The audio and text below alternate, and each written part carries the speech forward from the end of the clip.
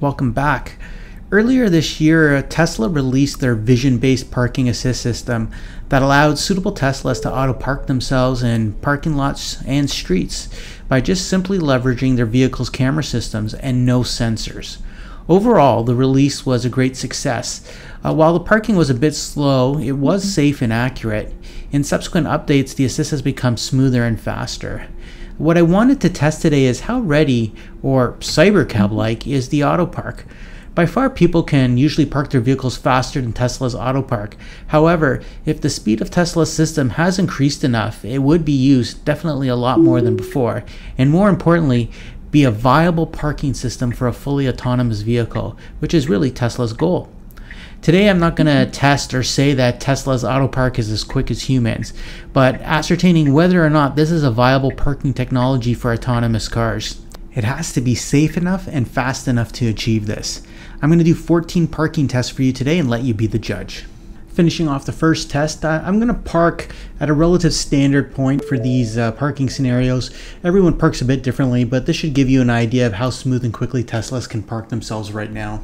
You can see from that first parking there, it was just over 29 seconds, which, you know, seems a little bit long. You know, if you had asked me before how long it would be, I would have thought maybe 20 to 25 seconds, and it came in at 29. Again, not every scenario is going to be the same. It's got to take into account which vehicles it's parking next to, what angle uh, it's approaching at, how close those vehicles are to the line, and it's going to have to then make adjustments there.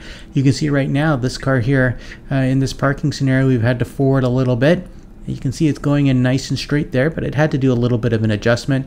Take a look at the camera there, coming in nice and slow, but nice and straight as well. And finishing off though at just over 36 seconds. So that one was pretty long. So uh, we're going to try some other scenarios and see what it comes in at. You can see the car is moving forward just a little bit just to adjust itself. And again, if I had stopped the car a little bit more forward, it would probably just do one quick reverse in. Uh, but I'm not trying to make it easy. I'm trying to do what would be a typical stop position for, for many people uh, who will adjust by going forward and then reversing in at times.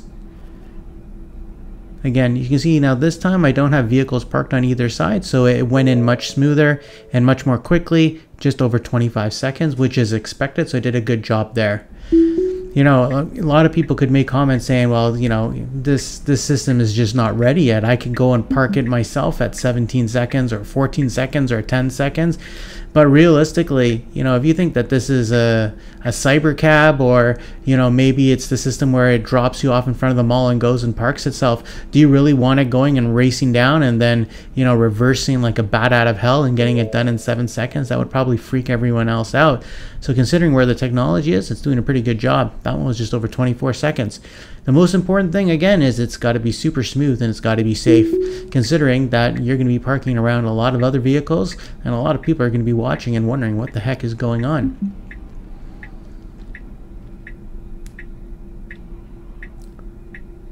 Alright, taking a look at the camera here.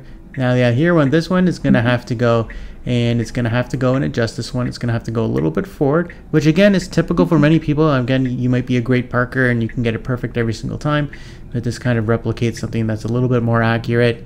Um, again, depending on where you stop the car and the angle it comes in is going to determine if it's going to have to go forward and adjust. As you can see, this was probably the longest one we're going to have on this, just over 38 seconds. So yeah, you know, that might be bordering on a little bit too long, I would say there, but it was smooth and safe. Can't say anything bad about that. Okay, we're going to reverse into the right side right now. You can see the the wheel there doing some fine adjustments there. Again, we've only got a car parked on one side, so it should do it nice and smooth this time. I would expect that this one would do it probably in around 26 seconds or so. Alright, doing the quick adjustments there and finishing off. Yeah, well, there you go. Just over 28 seconds. So I think you're seeing a bit of a theme here. You're kind of getting a sense of how long it takes to, to park. So be interested in hearing your thoughts. Uh, we're going to adjust it again, and we're going to do another spin here. Oh, as you can see, it went a little forward there because it said it was going to struggle there with that reverse. Now we got some cars that are parked here behind us at some weird angles. You see that car in the back there? It's, it's kind of stopped there perpendicular to us, so that might have thrown off the, the parking system a little bit. I'm keeping my eye on that vehicle just to make sure it's not going to go and like reverse into me. You can see it's on a really funky angle there. but uh, it's doing well considering that there's a car parked vehicle at a weird angle. We got some uh, other vehicles that are around us. You know, adjusted and did that very well. 34 seconds, taking a little bit of time, but did it very safely. All right, now we are going to go over to uh, another mall and check it out. Simple right reverse. And we parking between two SUVs now, so there's not much, not much viewing space. You can see how look in the camera there. These trucks, it's really tight. Being very, very careful but is doing a very, very good job with it. Great job, 27 seconds. Can't complain about that. You can see I'm just driving around trying to find all different types of uh, vehicle makes here. Okay.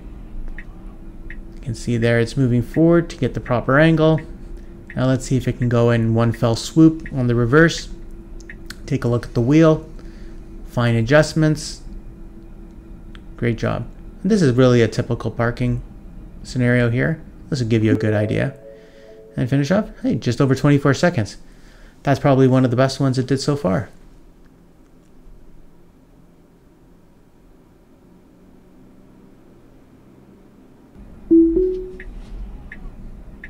All right, again, we're going to try to park. Oh, let's see, we've got this vehicle here that's in front of us. nope, we're going to park. You're going to have to wait, buddy. Again, we're going to be doing it between two vehicles. Now there's a key thing for like the Cybercab. Again, it, it can't be too slow that would hold up vehicles like that white one in front of us. And it it was going pretty good. You see there, it's doing some fun. Now, you know what?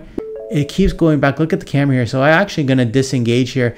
I was a little bit concerned that it was going to go hit the curb behind me. So you're going to see I'm going to go behind the car and take a look. And actually, there was more than enough space there as well. So I, I guess I should have trusted the system. But I was looking at the screen there and it looked like it was getting really, really, really close to that curb. But there was still a little bit of space there. So uh, it did a good job with that. So see, I want to park here where there's lots of pedestrians and lots of vehicles. Okay. You can see that car there on the right. It's parked at a bit of a weird angle. So we're going to see the uh, angle of attack going in here on the reverse. And we see if it's going to have to do any fine adjustments and go forward.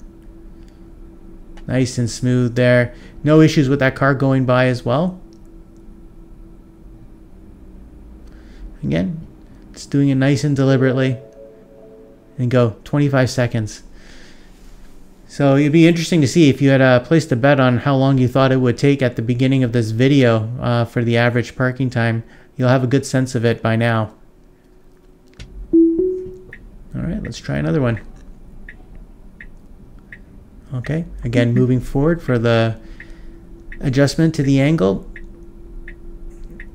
All right, good job. Okay, nothing jarring there. Now it's going to have to adjust. It's getting a little bit too close there, which is fine. Again, this is going into autonomous system. It's, you don't care because chances are you might not even be in the car at this time. You just want it to be safe. So 33 seconds.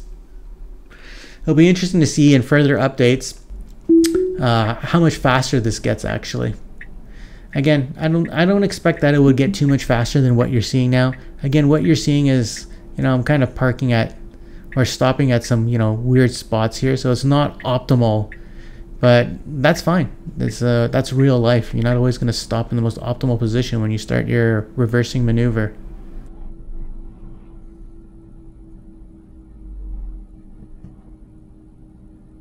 Now this one I thought would have been a little bit faster. 29 seconds. I didn't have any cars behind me.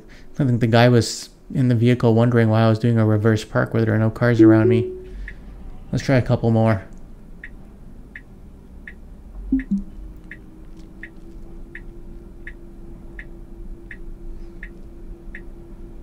You're getting a good sense of how auto park works here on Teslas. You can see when you have these vehicles that are parked very close to the line, Tesla will, or the auto park system will find a nice optimal position within the lines that you have 26 seconds. So there you go. So after 14 parking attempts, the average parking time was 29 seconds. This may seem long, but if you look at all the videos, you can see that if the car was positioned optimally when it started parking, you could probably finish the parking in around 24 seconds. More importantly, though, is that it was very safe, and I was never concerned at any time that I was going to damage my car or anyone else's. Part of this fully autonomous future is having a safe and reliable parking system, which Tesla definitely has now.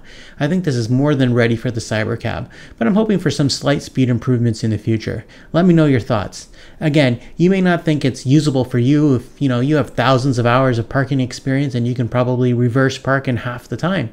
You may think it's painfully slow, but I'll say this, it's safe and it's ready for the future.